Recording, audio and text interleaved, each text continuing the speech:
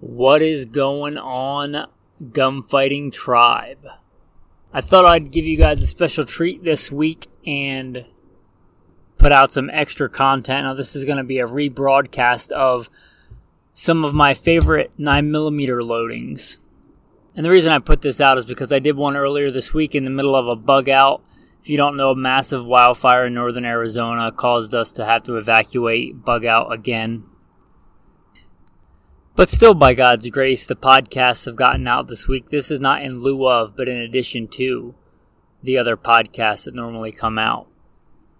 And I did one earlier this week on nerding out on the 9mm and getting really nitty gritty into it. But I thought today, while I was driving, that this would make a good pairing to that. If you like that episode, you would like this one, and vice versa. These are some of my go to personal favorite 9mm loads for defense. Again, the unique thing about this podcast, I think, from a lot of other ones, which are there's a lot of other good gun podcasts out there, but this one is from real world firsthand experience. And we all have our favorites and our biases, but these are rooted in my own experience that I've been blessed to have and blessed to live through and see and survive. With that, I'm going to edit the older episode. I'm going to cut out a bunch of the stuff and just try and get into the meat and potatoes of the episode. Make sure you're subscribed to the podcast. And please consider going to goodshepherdtraining.com. Again, goodshepherdtraining.com. and supporting on page. If you think you get as much out of this podcast to make you a better gunfighter as you would out of a single box of ammo, please consider contributing a portion of what a box of ammo costs nowadays to help support this podcast and the other ones that we do. With that, let's get into some of my favorite 9mm loads. Blessed be the Lord my rock, who trains my hands for war and my fingers for battle. Psalm 144.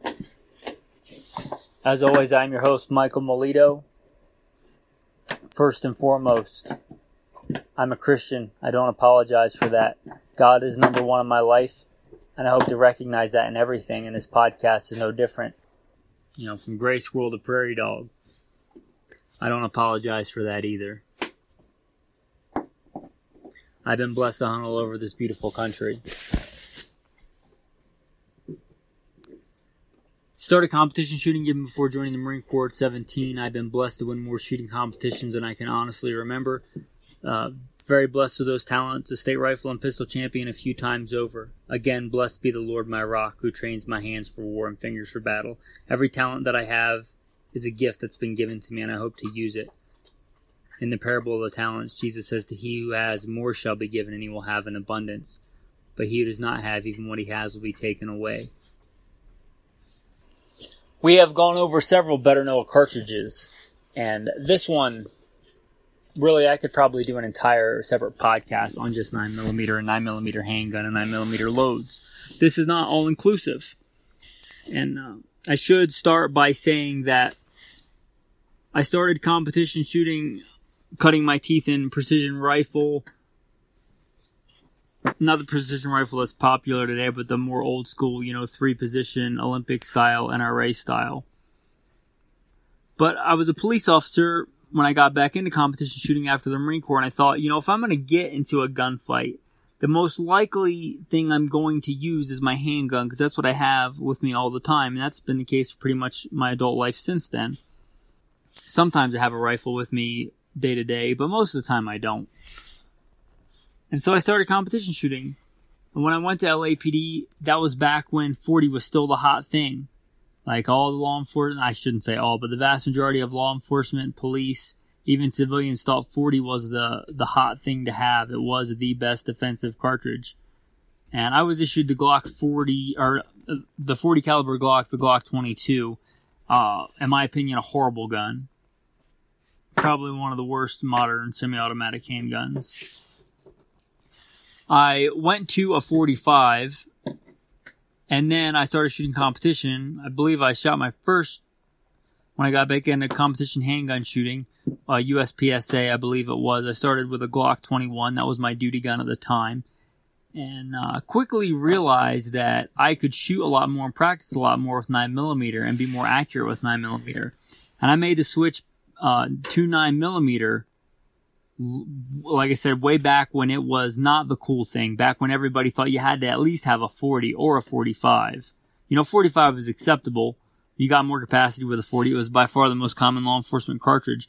Almost nobody was recommending that you carried 9mm back then I was seen of like, why would you carry such an old antiquated round? And it's kind of funny that we've come full circle and it's the law enforcement round again. It's the FBI round again. And I think they made the right choice on that. For the reasons I stated before, you can practice a lot more and shoot a lot more um, and get a lot more hits on target quickly given the same skill level. I don't, I don't want to lie about numbers, but I remember doing this when I was evaluating and I don't remember if I did 9 versus 40 or 9 versus 45, but I had a, a competition size target at a certain distance, and I don't remember the numbers, but I remember the draw and how many rounds I could get off in a certain amount of seconds, and I remember it being not even close. I could get far more, far more rounds on target in the same amount of time with 9mm, and I thought to myself when I made the switch, not just for competition, but carrying on duty, that there was no way that the 40 was ballistically or the 45 was ballistically so much better that it was an advantage over being able to get that many more rounds on target quickly with the 9 millimeter. So I made the switch, and I've carried it a long time. Uh, it's been my go-to round since I switched, and that was probably circa 2008 9 when I switched from 45 to 9 millimeter, and I still carry a 45 from time to time. But my my primary gun for concealed carry and for duty carry is and has been since then 9 millimeter. This won't be a better Noah cartridge in the classic sense that we talk a lot about history, but the 9 millimeter came around in the turn of the century. I believe adopted or has a lineage to the 30 Luger, which even predates the turning of the last century. But the early 1900s, the single digits, and forgive me, I don't remember it was like 1902 or 1904, 1908. Um, speaking off the cuff here, shooting from the hip, as they say, since this is gunfighter life. As I watch my dog destroy a box that's in the middle of the house, if you can hear that. And it was adopted for the Luger, which is a fantastic handgun. I have shot uh, an old school Luger, and I was getting headshots with it, and it was working reliably even though it was probably close to 100 years old, at 25 yards, I was hitting a little tiny head plate with it consistently. It was, it was a fantastic handgun. Probably why, one of the reasons why it caught on and is so predominant today. It's been with us that whole time. Uh, the Browning High Power got chambered in it, which was a fantastic handgun, probably far ahead of its time. And countless number of handguns have been chambered in it. Countless number of iconic handguns have been chambered in it. You know, the original Glock, the Glock 17 was chambered in it originally. It's a fantastic gun. It's served. I couldn't even begin to list the amount of militaries and law enforcements around the world that use a 9mm or 9x19 or 9 parabellum, which is just a cool name in itself. If you've ever studied Latin, which I have, just a cool, cool name for the cartridge. And just a, I think it just strikes a really good balance of the I'd say it's probably more efficient than the other predominant cartridges. And it's more shootable and it still maintains a good amount of lethality for a handgun cartridge, understanding that most handgun cartridges aren't lethal. I, last time I checked stats or heard stats, and, and I don't know these to be, I don't know that you could ever have exact numbers on this, so don't take this as gospel, but about 80% of handgun wounds are not fatal, whatever caliber it's in. But that being said, as far as effectiveness of handgun goes, it's pretty effective. And it's very shootable. And economy of scale, it's cost effective to shoot. For all those reasons, it's it's a fantastic cartridge. I often will go against the trend and buck the trend and kind of do my own thing just because that's, I guess, the way that I am, the way that God made me. But I don't do that when it doesn't make sense. 9mm is the most prolific handgun defensive cartridge, I think, for very good reason. So, now that with all that being said, a little bit of the history, a little bit of why it's so prolific today, let me talk about some of my favorite nine millimeter loads. Now, I'll start off not at the beginning, but I'll start off with recent, fairly recent history.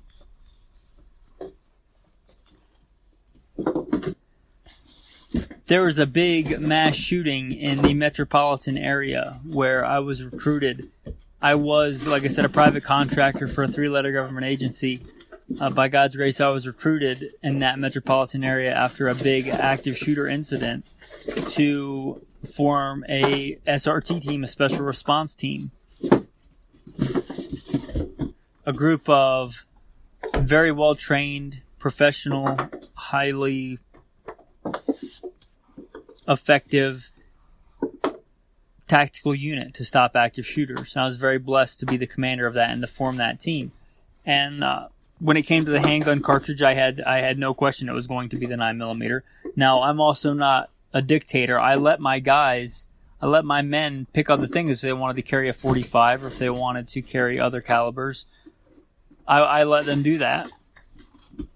But I encouraged the 9 millimeter, saying that I would supply the 9 millimeter. The comp, not I, the the company would supply the 9 millimeter ammo. But if they wanted to carry something else, they had to supply that themselves. And even I myself sometimes would carry a 45, just for mission specific reasons. But I also came down to me picking the load. And there are a lot of good 9mm loads out there.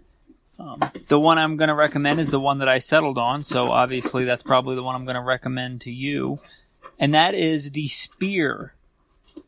The Speer Gold Dot 147. I like heavy for caliber 9mm loads because I personally like the recoil impulse better when it comes to the heavy for caliber bullets in the 9mm, to me they tend to have more of a slow rolling recoil impulse versus a snappy quick impulse. And, you know, this is not black and white. Some people like a snappy recoil that returns quickly. Some people like the slow roll of the, I guess, less choppiness of the heavier for caliber 9mm loads. I like them for that reason, and I also like them for ballistic performance. When a bullet when a bullet strikes something, it immediately starts, well, as soon as it leaves the barrel pretty much, it immediately starts losing velocity. And as soon as it hits something, it starts losing velocity. But it will hold on to that mass. I like the heavier mass bullets. I think they do well ballistically. I think they no matter how good modern technology is, bullets don't always expand. And I like the bullet profile of the heavier bullets. They tend to have a flat nose and a more flat nose conical shape, harkening back to the old semi wad cutters, more so than the lighter for caliber round bullets. And if they don't expand, those bullet shapes tend to do a little bit better. And they also tend to do a little bit better through barriers. In general, I know there are exceptions. For those reasons, I settled on the Speer 147 Gold Dot for, and with the big caveat of the next reason I'm going to give. Because Speer wisely makes a matching in their Gold Dot line practice round. They make the Speer Lawman 147, which they designed to match the same bullet diameter, the same, well, obviously bullet diameter, but the same bullet geometry, the same velocity. So you can practice with ammo that's affordable. You're not paying a dollar fifty, two dollars a round to practice with. And if it feeds that Speer Lawman, there's no reason why it shouldn't feed the Speer Gold Dots. You know, don't be the guy that, you know, goes and shoots Winchester White Box 115 grain and then loads up your you know, 124 grain plus P's and don't practice with them because there's no guarantee, even if it's a really good gun and really good ammo, that that gun is going to work with that ammo. I've had that happen before with Glocks, you know, that are supposed to eat everything, but they just didn't like a particular load. Don't trust your life to something that's unproven. And I like the Speer 147 gold dots and the Speer 147 Lawmans for that reason. Now, that being said, if you tend to prefer the lighter for caliber, I would recommend, you know, like the Speer the Speer uh, 124 grain gold dots or the Speer 124 grain Lawmans. And they even do the same thing with 115 grain. But my primary load that I'm going to recommend is the Speer Gold Dot 147s and the Speer Lawman 147s. Uh, that would be my go-to, and it was when I had to pick. My second go-to that I would pick personally for me, not if I was arming a large group of people, but I like because I generally tend to prefer guns with longer barrels. I generally, a lot of the, let me back up. I let my guys carry whatever they wanted, provided they shot it well and they could qual with it, and our qual was very demanding. But some guys would want to carry a smaller gun, a Glock 19, or sometimes we did covert stuff and they chose the Glock 19. And those Speer 147s tend to do well out of a multitude of barrel lengths. If it was for me personally, for a full size duty gun, which I almost always carried on duty, would be the Winchester Ranger T. That is their like new predominant, preeminent line, Winchester's, you know, lineage from the old Black Talon days the Winchester Ranger T M147. And you can also get Winchester 147 grain ammo that has a similar bullet profile. So you can do the same thing I just talked about. And to me, that's most important. The most important aspect when choosing a defensive load in anything, but also applies to 9mm, is getting a round that shoots the same point of aim, point of impact, and getting ammo that you can practice with that works the same as your, your, let's say, defensive ammo. Cause what good does it do you to practice all the time? Like I said, with your Winchester white box 115 grain, which I'm not knocking that ammo. But if you're doing that and you're carrying, you know, Winchester 127 grain plus P plus Ranger T's, unless there's some freak coincidence, they're probably not going to shoot in the same place. And a lot of times they can shoot drastically in a different place. So I'd rather have a round that was less ballistically effective that I hit exactly where I was aiming. Because to me, shot placement is far more important. You know, if you can afford to do all your practicing with their Winchester 127 plus P plus, that's a great round ballistically.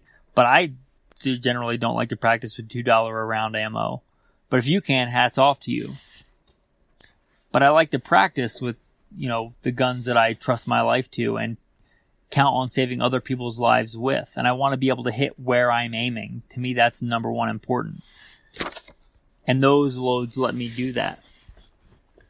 If you go to something different, my, my third, before I go to the other something different, my third option, which I really, really like, which I haven't been able to find for a while, which is why it's my third option. I'm not sure if they still make it, but it was a wise choice for Winchester they made the Winchester train and defend. The train was the practice ammo and the defend was the defensive ammo and it was designed on the same premise as the Speer Lawman and the Speer Gold Dot. It was designed to match your practice ammo with your your shooting defensive ammo. Anyway, my dog is uh, my puppy Rhodesian Ridgeback is being a little obnoxious right now, which is kind of great and adorable. But where was I? That Winchester Train and Defend, which also came in the 147s, I really, really like that. It also came in other calibers if you're looking at that. Like I said, I haven't seen it in a long time since pre-pandemic days. And I know a lot of ammo has been hard to find, but that's one reason I would recommend that third. You'll notice my, none of my top choices were plus P rounds. I don't generally like plus P rounds for the fact that, like I said, I like to practice and I don't generally practice with plus P rounds. I think they're hard on a gun, and I think if you do like a circle test, putting whatever you consider to be your kill zone on a target at let's say, you know, three, five, seven yards, and do drills with that, I think you'll get more rounds on target quickly, more consistently with not plus P ammo. Uh, f- and for me, I think most shooters shoot it better. And to me, shot placement is more important than plus P ammo. That being said, I have a couple rem- recommendations. If you just want the plus P ammo, my number one is an old school round, but it was my first, you know, either my first or my second 9mm round that I carried. And it's the Winchester 9 BPLE. Not a super, I guess, great marketing name, but you can look it up. It's the Federal 9 BPLE. It is 9mm plus P plus. I ran that. My first, I believe, duty 9mm gun was a Smith & Wesson M&P Pro. Uh, great gun. I ran, that's what I went and did my FBI firearms instructor class with. That ammo is great. It has a g- very good proven track record, the Federal 9BPLE, and it is 9mm plus P plus. Make sure your gun can handle it. Not all guns can. It is plus P plus. The other one I will give you is also plus P plus. If you're gonna go hot, you might as well go hot. And it is the Winchester 127. I believe it's a also it's either just a regular Ranger or Ranger T 127 plus P plus. Also has a good track record, so I'd recommend those what I would recommend for a new shooter, because a lot of times new shooters will go and just buy ammo at, used to be able to buy it at Walmart. I guess Walmart doesn't sell handgun ammo anymore, which is a sad time in America, I guess. But anyway, there used to be a time you could just go to Walmart, but I guess most big box stores, wherever you are, you're probably going to go in and find Remington or Winchester or Federal 115 grain. It's the most common 9mm load. And if that's how you're going to buy your practice ammo, I would recommend buying a defensive load that matches that. And you have to test this in your gun. If it's not specifically designed to match, you got to test it out.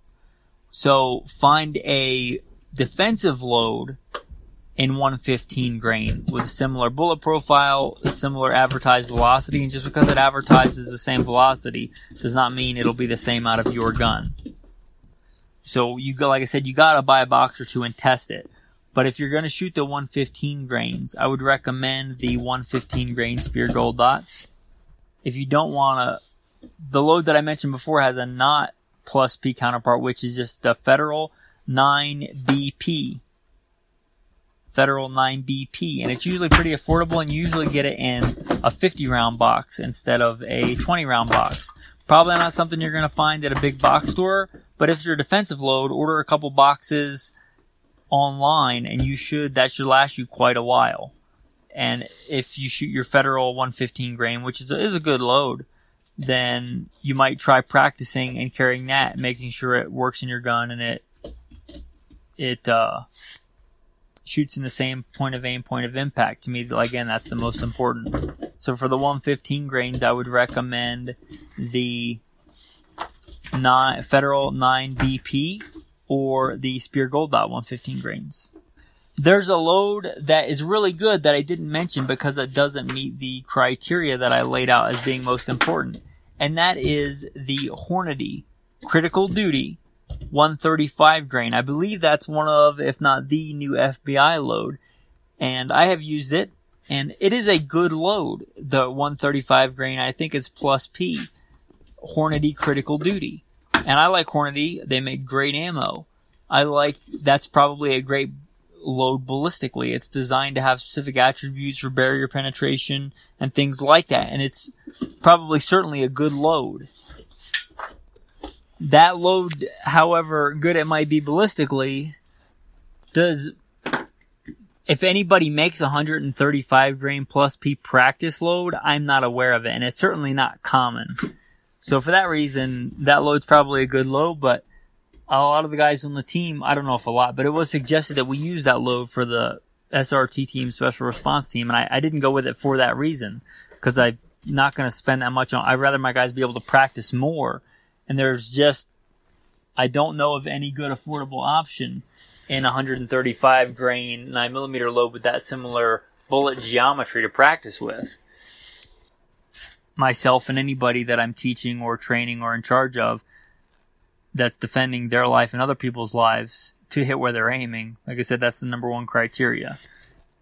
If I didn't mention your load or something like that, by all means leave a comment in the review. Leave a review and leave a comment. That's a good way to get a scene. Or you know, you can always message me. Go to goodshepherdtraining.com. Goodshepherdtraining.com is the umbrella that houses this podcast, also the Alpha Male podcast. And if you care about the important stuff, Simple Man Sermons, the preachings of a simple man called by God to share the good news of Jesus Christ. Anyway, go to goodshepherdtraining.com. You can contact me on there. If you want to contribute to the podcast, if you think this content was worth a fraction of the cost of a box of ammo, consider going there and being a patron. To all the patrons that I have, thank you so much. Um, I am truly humbled that anybody listens to this, that God chooses to use me at all. I am humbled, and I am very humbled that you guys choose to support and be part of this tribe. And I'm very blessed by that, and I don't take that for granted, hopefully. And I just wanted to say thank you. And if you do want to become a part of the tribe like that and support for as little as a dollar a month, you can go to Patreon. Uh, again, go to goodshepherdtraining.com, scroll down, there's a Patreon link on there you can click on that and give whatever you want. And if you don't want to, don't don't feel guilty about it. If you want to support in other ways, don't forget to like, subscribe, comment, and leave a review of the podcast. Leave a comment, leave some stars, whatever platform. I assume a lot of people listen to this on on iTunes. You can scroll down, hit a bunch of stars, and leave a review, write a review, even if it's super simple. You know, hey, great podcast, or hey, your audio quality could use some work, but good content. Whatever you want to write. I'm not telling you what to write. You write what you think is is justified. Anyway, with that, as a thank you for listening to the end of the episode, a tactical tip. This one applies to handguns. You don't, however, find this in the gun cleaning section, or generally, I've never seen it in any gun stores. You find it in the automotive section, like at uh, one of the big automotive stores and it's called Hyperlube. It's an engine oil additive. It's very thick. It's very viscous. And I love using this on handguns. Not, caveat, not on the fine moving parts, not on the firing mechanism, the trigger mechanism, the sear, things like that. This Hyperlube is super thick, super viscous. And I like to use it on the slide to frame fit. And I like to use it on the barrel hood and the barrel lockup. It's super thick. It's super viscous. If you shoot your guns a lot, like I like to do, it really helps with the wear and tear on the gun. It makes the gun super slick. It's super thick. It's super viscous and it comes, I think, in a one quart or one and a half quarts for whatever it costs. It's not cheap, but if you compare that to what you get in little tiny bottles of gun grease or slide glide, which is also a good product, but if you, if you count the amount that you get for the price because you're it's meant to be added into engines to boost performance then it it lasts a long time. So hyperlube check it out you just put some in your fingers and play with it and you'll see why i recommend it especially for slide to frame fit especially for hood lockup again that area where your hood locks into the slide or where your slide to frame fits together. Try and keep, it won't really hurt if you get it in there, but I would try and keep it out of like your firing pin channel and your, like your small moving parts, you know, where your sear and your trigger bar or whatever kind of handgun you have, those kind of small parts. I'd still stick with something like the old trusted Rem oil or something thinner for that but that Hyperlube is pretty awesome and it's not, like I said, not cheap, but for the amount you get, as far exceeds what you normally get for like firearms lubrication. So if you do it, you know, per ounce, it's probably a lot cheaper. Anyway, it's a great product. Check it out. You know, I don't get any corporate sponsors. I take no bribes, no, I don't get any money or any kickback from that. It's just a good product and I use it and I thought I'd give it to you as a tactical tip. And I'm going to give you another one since uh, I was thinking about it today. I was doing some drills uh, on iron sights and red dots. And as you heard in the bio, I was LAPD. I don't think that LAPD's qual is the best qual out there by far, but I think it is good in terms of most law enforcement quals. And I think that one of the stages they have is fantastic for the concealed carrier self-defense person, which I assume a lot of you guys listening to this are. I assume there are some professional gunfighters listening to this, but I assume a lot of people are just concealed carriers. And I think this stage of the qual, and this is the qual back when I when I was part of it. I don't. They may have changed it now. I'm not even sure, but I call it the LAPD failure drill. It's just a stage of the qual. I don't know that it even has a name. But if you're familiar with the El Presidente, it's kind of similar to that, but less rounds, which who doesn't appreciate that nowadays? But you have two targets with a defined chest area and a defined head area. You can look up the LAPD pistol qualification target unless they've changed it. It's a really good target. I think it's more, one of the better, more realistic targets. And I'm not just saying that. Like I'm an FBI certified firearms instructor as well, and I think the FBI uh, target is kind of sucks. But the LAPD one's not bad. It has a very good, well-defined head box, and it has a very good, well-defined torso sections.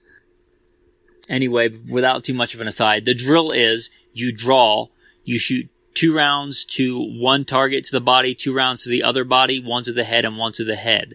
If you're a right-handed shooter, most right-handed shooters, in my experience, shoot faster left to right. So if they're the same amount of threat level, you shoot it from left to right. So two to the body, two to the body, one to the head, one to the head. I'm not going to set your standard for you. You do that in the amount of time that you can do it in and try to improve as a gunfighter, as an alpha male. You know, so the the uh, drill is draw, and then two to the body, two to the body, one to the head, one to the head. It's a good drill. Two to the body, two to the body, one to the head, one to the head. It's kind of a Mozambique drill times two. And I think it's a good practical drill for self defense for concealed carry. It's not a lot of rounds. You know, if you can do different variations of it, you can shoot the first target and then do a reload and finish up on the second target and then your headshots. Or you could do both bodies and then reload and then headshots. You do a, you can do all kinds of manner of things, but I think just the basic one is a good conceal carry defensive drill. I would recommend doing it at seven yards, but you can do it closer or further away. Like I said, variations are good. With that, guys, I hope you like today's podcast. If you like this podcast, you think it's worth supporting, it's worth your time and my time, please consider going to goodshepherdtraining.com and clicking on the Patreon link. If you don't want to do that, at least uh, make sure you're subscribed and please leave a review of the podcast if the app you're listening to it on lets you leave reviews or click some stars or whatever that is. With that, gunfighters, have a blessed day.